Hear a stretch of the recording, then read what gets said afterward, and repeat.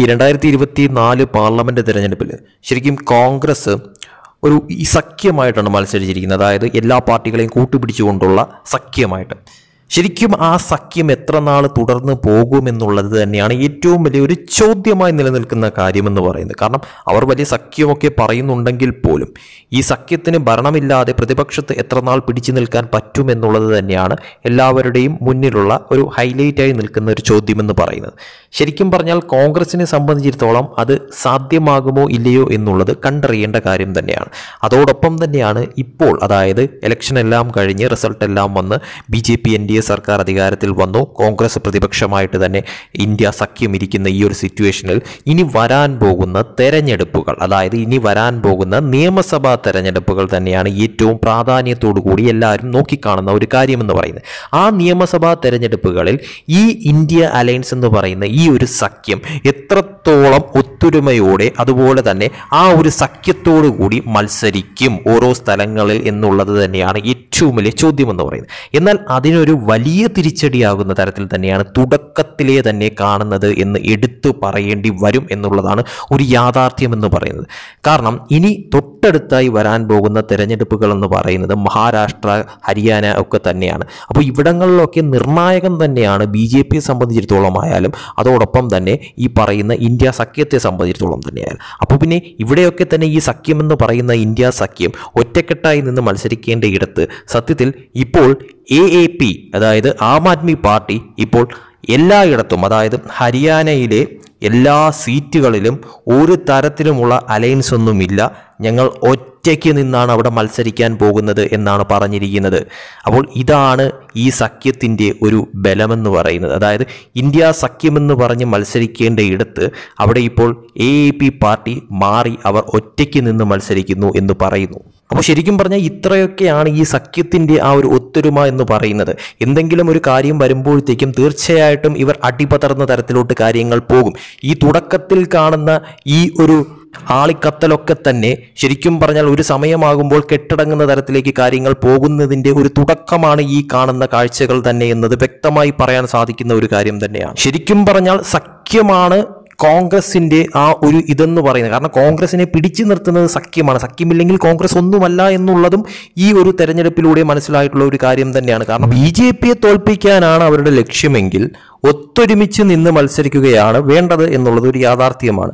അപ്പോൾ ഇവിടെ ഇപ്പോൾ ഇന്ത്യ സഖ്യത്തിലെ തന്നെ പ്രധാനപ്പെട്ട ഒരു പാർട്ടി ഇങ്ങനെ മാറി നിന്നുകൊണ്ട് അവർ ഒറ്റയ്ക്ക് മത്സരിക്കുമെന്ന് പറയുന്നത് കോൺഗ്രസിനെ സംബന്ധിച്ചോളം അത് ഒരിക്കലും ഗുണകരമായിട്ടുള്ള ഒരു കാര്യമല്ല തിരിച്ചടിയാണെന്ന കാര്യത്തിൽ ഒരു സംശയവും വേണ്ട. ശരിക്കും പറഞ്ഞാൽ ഈ കോൺഗ്രസ് ഇന്ത്യ സഖ്യം ഈ ഒരു രണ്ടായിരത്തി ഇരുപത്തിനാല് പാർലമെന്റ് തെരഞ്ഞെടുപ്പിൽ അവർ തോറ്റിരിക്കുകയാണ്. അതൊരു യാഥാർത്ഥ്യമായുള്ള ഒരു കാര്യം തന്നെയാണ്. ഭരണം എന്ന് പറയുന്നത് അവർക്ക് കിട്ടിയിട്ടുമില്ല.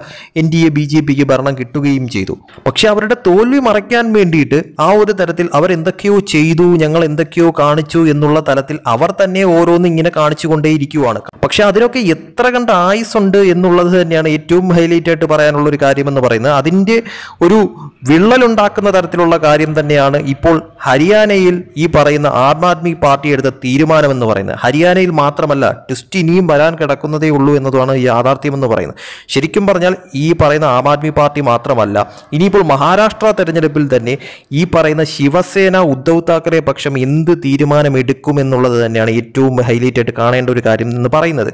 ഉദ്ധവ് താക്കറെ ഇന്ത്യ സഖ്യത്തോടൊപ്പം തന്നെ നിന്ന് മത്സരിക്കുമോ മഹാരാഷ്ട്രയിൽ? അതോ ഒറ്റയ്ക്ക് മാറിയിട്ട് അവരും സഖ്യമില്ലാതെ മത്സരിക്കുമോ എന്നുള്ളത് ഒരു ചോദ്യമായി നിലനിൽക്കുന്ന ഒരു കാര്യം തന്നെയാണ്. അതോടൊപ്പം തന്നെ മറ്റൊരു കാര്യം ഇനിയിപ്പോൾ അവർ സഖ്യം ചേർന്ന് തന്നെ മത്സരിച്ചാലും മഹാരാഷ്ട്രയിലും ഈ പറയുന്ന ഹരിയാനയിലും അവർക്ക് ആ ഒരു തരത്തിൽ ജയമുണ്ടായില്ലെങ്കിൽ ഒരു തിരിച്ചടിയാണ് ഉണ്ടാവുന്നതെങ്കിൽ ഉറപ്പായിട്ടും പറയാൻ സാധിക്കുന്ന ഒരു കാര്യമാണ് ഉദ്ധവ് താക്കറെ അതുപോലെ തന്നെ ശിവസേന പക്ഷം. ആ ഒരു തരത്തിൽ മറുകണ്ഠം ചാടാനും എല്ലാ തരത്തിലുമുള്ള ചാൻസ് നിലവിൽ നിലനിൽക്കുന്നുണ്ട് എന്നുള്ളത് യാഥാർത്ഥ്യമായിട്ടുള്ള കാര്യം തന്നെയാണ്. മഹാരാഷ്ട്രയും അതുപോലെ തന്നെ ഹരിയാനയെ സംബന്ധിച്ചിടത്തോളം ബി ജെ പിക്ക് വളരെ നിർണായകമായിട്ടുള്ള രണ്ട് സ്ഥലങ്ങൾ തന്നെയാണ് വരുന്ന ഈ ഒരു നിയമസഭാ തിരഞ്ഞെടുപ്പ് എന്ന് പറയുന്നത്. അതോടൊപ്പം തന്നെ കോൺഗ്രസിനെയും ഇന്ത്യ സഖ്യത്തെ സംബന്ധിച്ചിടത്തോളം വളരെ നിർണായകമായിട്ടുള്ള തിരഞ്ഞെടുപ്പ് തന്നെയാണ്. അതിൽ ഈ പറയുന്ന ബി ജെ പിക്ക് ആ രണ്ട് സ്ഥലങ്ങളും നേടാനായാൽ പ്രത്യേകിച്ച് മഹാരാഷ്ട്ര ബി ജെ പിക്ക് നേടാൻ സാധിച്ചു കഴിഞ്ഞാൽ അത് തീർച്ചയായിട്ടും കോൺഗ്രസിനെ സംബന്ധിച്ചിടത്തോളം കോൺഗ്രസിന്റെ ഇതുവരെയുള്ള അതായത് കോൺഗ്രസ് ഇതുവരെയും വലിയ സംഭവം എന്ന് പറഞ്ഞ് പൊക്കിപ്പിടിച്ചുകൊണ്ടുവന്ന എല്ലാം തകർന്നടിയുന്ന തലത്തിലോട്ട് കാര്യങ്ങൾ പോകുമെന്ന കാര്യത്തിൽ ഒരു സംശയവും വേണ്ട. കാരണം ഒരു ചെറിയ തട്ടൽ മതി. കോൺഗ്രസിന്റെ ഈ ഒരു സഖ്യം തന്നെ ആ ഒരു തരത്തിൽ പിളരാനായിട്ടും അതുപോലെ തന്നെ ആ ഒരു തരത്തിൽ അങ്ങ് തകരാനായിട്ടും. അതിനൊരു ടേണിംഗ് പോയിന്റ് ആയിട്ട് ഈ വരുന്ന നിയമസഭാ തെരഞ്ഞെടുപ്പുകൾ അതായത് മഹാരാഷ്ട്ര ഹരിയാന നിയമസഭാ തെരഞ്ഞെടുപ്പുകളിൽ കോൺഗ്രസിനെങ്ങാനും ഒരു തിരിച്ചടി ഉണ്ടായി കഴിഞ്ഞാൽ അത് വളരെ വലിയ ദോഷം എന്തായാലും സഖ്യത്തിനുള്ളിൽ ഉണ്ടാക്കുമെന്ന കാര്യത്തിൽ യാതൊരു സംശയവുമില്ല. എന്തായാലും എ പിയുടെ ഈ ഒരു തീരുമാനം ആം ആദ്മി പാർട്ടിയുടെ ഈ ഒരു തീരുമാനം ഇനി എന്തൊക്കെ ന്യായീകരിക്കാൻ നോക്കിയാലും കോൺഗ്രസിനെ സംബന്ധിച്ച് ഇന്ത്യ സഖ്യത്തെ സംബന്ധിച്ചിടത്തോളം അതൊരു ദോഷകരമായിട്ടുള്ള ഒരു കാര്യം തന്നെയാണെന്ന കാര്യത്തിൽ യാതൊരു സംശയവുമില്ല. അതുപോലെ ഇനി ആരൊക്കെ ഏതൊക്കെ തരത്തിലുള്ള തീരുമാനങ്ങൾ എടുക്കുമെന്നുള്ളത് തന്നെയാണ് ശരിക്കും കാത്തിരുന്ന് കാണേണ്ട കാര്യമെന്ന് പറയുന്നത്. ഉറപ്പായിട്ടും പറയാൻ സാധിക്കുന്ന ഒരു കാര്യമാണ് മഹാരാഷ്ട്ര തെരഞ്ഞെടുപ്പ് ഹരിയാന തെരഞ്ഞെടുപ്പ് ഇനി വരാൻ പോകുന്ന നിയമസഭാ തെരഞ്ഞെടുപ്പുകൾ. അത് തന്നെയാണ് ഏറ്റവും ഹൈലൈറ്റ് ആയിട്ട് കാണേണ്ട കാര്യമെന്ന് പറയാം. അതിന് മുന്നേ ഉപതെരഞ്ഞെടുപ്പുകൾ ഉണ്ടെങ്കിൽ താനും അതൊന്നും തന്നെയല്ല പ്രാധാന്യം എന്ന് പറയുന്നത് വരാൻ പോകുന്ന നിയമസഭാ തെരഞ്ഞെടുപ്പുകൾ തന്നെയാണ്. അതിൽ ബി ജെ പിക്ക് സ്കോർ ചെയ്യാൻ സാധിച്ചു കഴിഞ്ഞാൽ അതോടുകൂടി ഇന്ത്യ സഖ്യമെന്ന് പറയുന്ന ഈ ഒരു കോൺഗ്രസിന്റെ ആ ഒരു നിലനിൽപ്പിന് തന്നെ ഭീഷണിയാകുന്ന തരത്തിലോട്ട് കാര്യങ്ങൾ പോകുമെന്ന കാര്യം ഉറപ്പാണ്. ശരിക്കും ഒറ്റക്കെട്ടായിട്ട് നിൽക്കേണ്ട പാർട്ടികൾ ഈ ഒരു തരത്തിൽ ഇങ്ങനെ രണ്ടായിട്ട് നിന്നാണ് മത്സരിക്കുന്നതെങ്കിൽ ഉറപ്പായിട്ടും അത് കോൺഗ്രസിന് ഗുണകരമായി മാറത്തില്ല എന്നുള്ളതും ഒരു യാഥാർത്ഥ്യമായിട്ടുള്ള ഒരു കാര്യം തന്നെയാണ്. കണ്ടു തന്നെ അറിയണം എന്തായിരിക്കും ഇന്ത്യ സഖ്യത്തിനുള്ളിൽ ഈ വരുന്ന നിയമസഭാ തെരഞ്ഞെടുപ്പുകൾ കഴിയുമ്പോഴത്തേക്കും സംഭവിക്കാൻ പോകുന്ന മാറ്റങ്ങളെന്നും ബി ജെ പി വിചാരിക്കുന്ന കണക്ക് തന്നെ കാര്യങ്ങൾ ഈ വരുന്ന നിയമസഭാ തെരഞ്ഞെടുപ്പുകളിൽ നടക്കുമോ എന്നൊക്കെ കണ്ടു തന്നെ അറിയണം.